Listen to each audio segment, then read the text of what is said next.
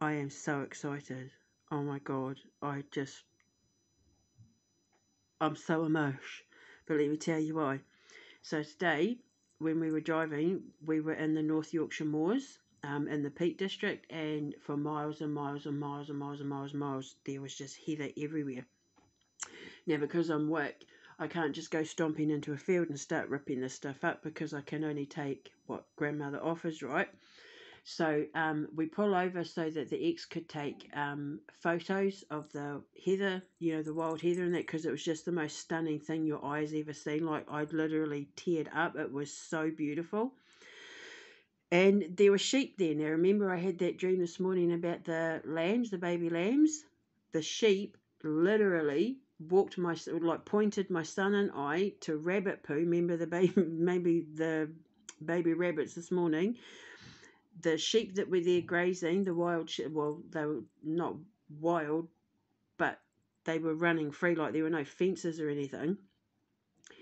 Um, and Bard, when we got to the bit that my son was to conjure, so I showed him how to cut it and that without it causing the plant pain, and so that it could obviously keep growing.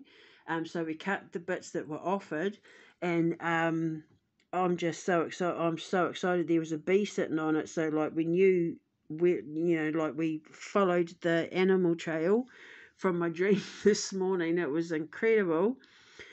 And then, because the thing is, the reason why I'm so excited about this is because this is the plant of uh, Isis and Osiris and it means that I can use this um, in my funeral rituals, my funerary rituals. It also means that I can use it because you know I work with babies and pregnant mums. I can use it to do rituals for babies because I want to get myself ordained as a minister so that I can perform um, weddings and you know like um, not baptisms but you know like do um, christening rituals and that for newborn babies and obviously the dying and that um, for funerals and stuff. Um, I can use this in um, blessing pouches and that for the babies after they're born. Um, the cool thing is, this is the plant for um, planet Mercury and planet Venus. So um, I can also use it on Taurians, Libras, Geminis, and Virgos. Um, this is the thing though. Um, because it's associated with Aphrodite, um, pagans and witches use this in fertility rituals. But the thing is, um, they well, they'll throw it on fires or they'll um, uh, use it like in teas. But okay, I've got to explain why this is wrong and bad.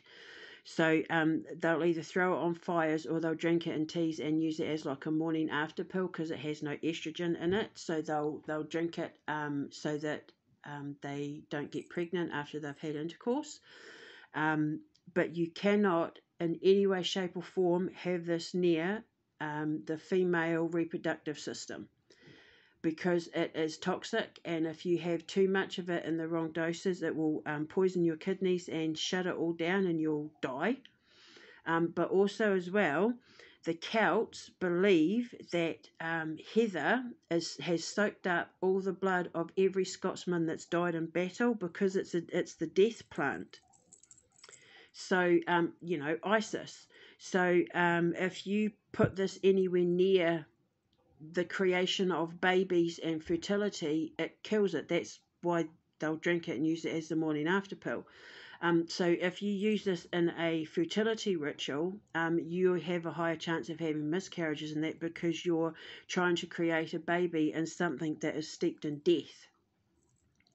Because um, it's you know, if if you have Celtic bloodline, if you have any sort of Scottish ancestry, um, you would be actually doing damage to your bloodline by associating heather with fertility.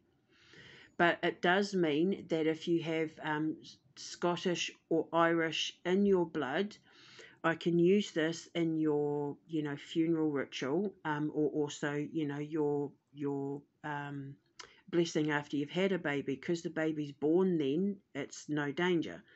So do not drink this, do not put this in your body, and do not use this for, for fertility because you'll have miscarriages. It could stop you from getting pregnant, it could um, curse the pregnancies and, you know, put a lot of negative energy around the baby which would make the baby grow up having all sorts of problems emotional, mental, spiritual, whatever because you're from the offset, you've put death around birth. Do you see what I mean? So it's like it's it's juxtaposed.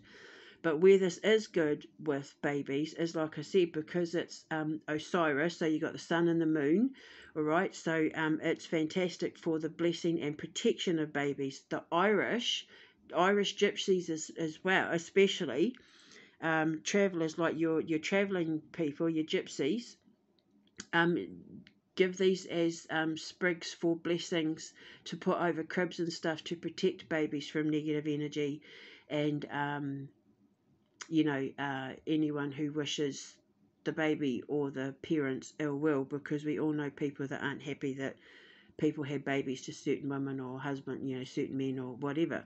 So um, I'm so excited about this. I can use this in so much stuff now. So what I'm going to do, because I was just so beautifully blessed by Isis and Osiris, um, I'm going to prepare it for um, to dry it out and that, and then I can start using it in like 10,000 million things that I can do. I'm so excited. I feel so blessed. It's like because um, tomorrow as well we've got the Sturgeon Moon, and I just announced my um, honey of Isis oil.